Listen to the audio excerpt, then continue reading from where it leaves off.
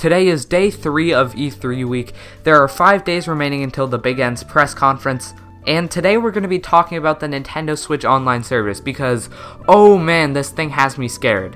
Nintendo Switch Online is free right now, and that's awesome that Nintendo's kind of always had free online, but you know, that's gone to hell. Like, we're having the actual Nintendo Switch Online service now, but that's okay. From what we've seen of it, it looks not that bad. It's $20 a year, which is a dramatic drop from the $60 a year from Microsoft and Sony. However, besides a couple of details on the website, that is all we've seen of it which makes me very anxious that it's just going to be the normal Switch Online, but now suddenly with the bit of like money and these small added benefits that you can check on the website. However, one of these benefits is actually pretty cool. The NES Online service thing gives these paid subscribers online NES games that have these online functionalities that have never been in an NES game before. I think that's pretty awesome. However, once again, Nintendo hasn't shown us any of this. So with us knowing virtually nothing about this, I figured it's time to start theorizing. This online functionality could really be anything,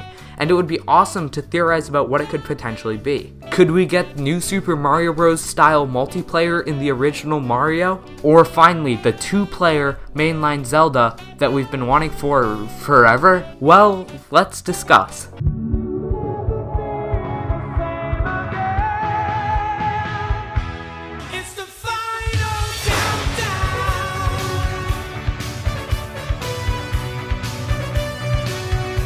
With only 5 days remaining until E3, hype is at an all-time high, with Paladins just being announced literally earlier today. I, I'm just so excited. But as we hear about these new innovative games, let's take a step back and look at these old NES games coming to the Switch. Before we do that though, quick brief mention of the giveaway. Of course, gotta mention it again, but if you already know about the giveaway, then just, yeah, skip to the time on screen now. Anyway, really quickly running through it, I am giving away $20 in $5 eShop codes. So yeah, that's four $5 eShop codes that I'm giving away.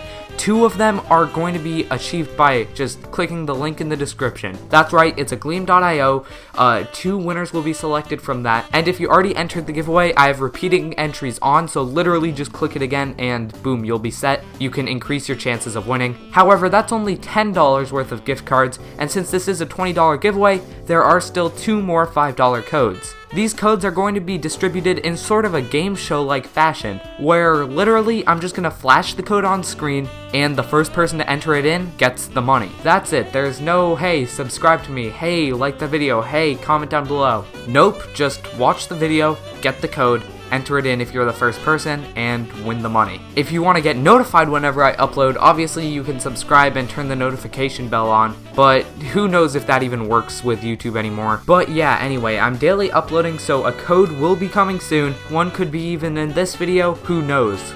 Like, I don't even know, I haven't decided, I'll do it while I'm editing. Anyway, let's get on with these NES games. So looking on the website, we actually do get a screenshot However, it reveals literally nothing, it's just of two people playing Balloon Fight, and yeah, that's literally it. They also talk about how 20 games will be in the NES service at launch, and 10 of these games have been revealed to be soccer, tennis, Donkey Kong, Mario Bros, Super Mario Bros, Super Mario Bros 3, Balloon Fight, Ice Climber, Dr. Mario, and The Legend of Zelda, and these are the games we're going to be speculating about today. Quickly jumping into it, unfortunately, Balloon Fight and Ice Climbers seem to just kind of be like how the two-player mode is as we speak, like right now. Obviously, I don't know if Nintendo is going to go above and beyond and create entirely new modes for these, what, 30-year-old games. So yeah, I mean, unfortunately, I do not think they're going to create new modes for these games, so it'll just be the two-player mode that already exists. So for Balloon Fight, Ice Climber, and Mario Bros, that's just what it's going to be. However, moving right along to soccer and tennis, these games are literally just going to be you can have two people playing soccer and tennis. Once again, just getting the uninteresting ones out of the way first. Boring, yeah, just like either FIFA or, I don't know, Mario Tennis Aces or something, just play tennis against someone, play soccer against someone. There it is. Now we're getting into the interesting ones. Super Mario Bros. and Super Mario Bros. 3. They could go multiple routes with this. Nintendo could go above and beyond and implement two players in these old games for the first time ever. Imagine New Super Mario Bros. Co-op where you have two people running around the same level in these old retro games. That would be an amazing throwback for people who played these games in their childhood. I obviously didn't grow up with these games, but I'd love playing them all the same. It would be pretty awesome, and I've played these games by now, so I mean playing them in multiplayer would be pretty sick. So that's Super Mario Bros. and Super Mario Bros. 3, but jumping on to Donkey Kong, we literally have no clue what this could be, or at least I don't. Now, there are two possible solutions that I think I've kind of thought of, and I want one of them way more than the other. Starting off with the lazy way out, you literally just have two people playing Donkey Kong side by side, and whoever finishes the level first wins. It's very simple. Hopefully that is not what they end up doing. But unfortunately, there is some evidence pointing towards them doing that, which we'll talk about soon. However, the other way, the much cooler way, would potentially be having someone actually control Donkey Kong and decide when to place the barrels. The barrels are the main obstacle in Donkey Kong, and it would be awesome to have a player actually control when they're placed. Obviously, you couldn't just spam barrels, it would be some sort of cooldown system, but then everyone would just place them as soon as you could, so I don't know. Nintendo could work something out though and make that a very unique, refreshing experience. Moving on over to Dr. Mario, and this is the evidence I was talking about before, because we actually do get a very small screenshot of this. They're actually two separate, like, things, you know, like, just, I, I don't know how to explain it.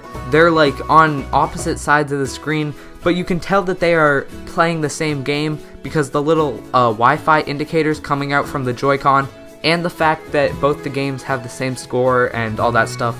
So unfortunately, it looks like for Dr. Mario, it's just going to be sort of maybe a Puyo Puyo Tetris style game where it's just two people playing Dr. Mario against each other. Maybe if you do good on one side, then your opponent gets like a hazard or something, but just pretty basic stuff, and that's why I think they're probably just going to go that route with Donkey Kong, however, you do never know. Finally, the one that we actually care about, the most interesting one of this entire video, The Legend of Zelda. Now, disclaimer, I do not know what they're going to do, and they could unfortunately do what I was just talking about, where two people play at the same time, and whoever wins, and whoever completes an objective first, well, wins. After all, they did do that for one of the Nintendo World Championships, it was either 2015 or 2017, I forget which one, honestly.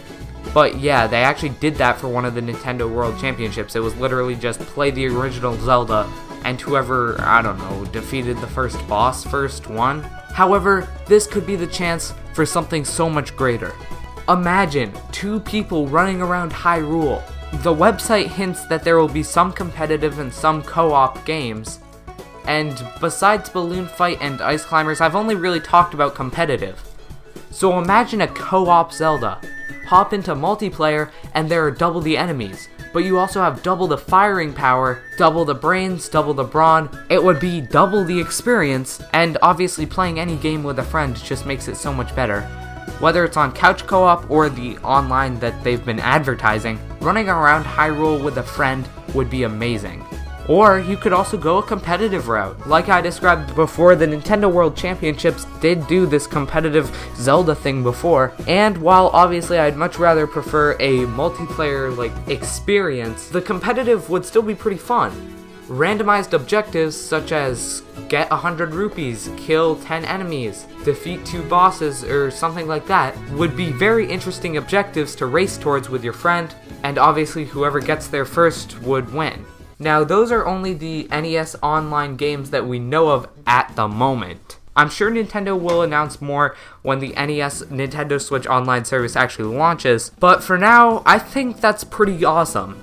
Anyway, thank you guys so much for watching this video. I'm so glad you guys are enjoying this series today. This video was hard. I'm literally recording it at 5 p.m., so it probably won't go up until like 8 and I'm just going to be editing from now until then. But you know, that's what happens when you decide to do daily uploads the week of your school finals. Anyway, thank you guys so much for watching. I'm Thomas from the Switch Stop, signing off. Peace.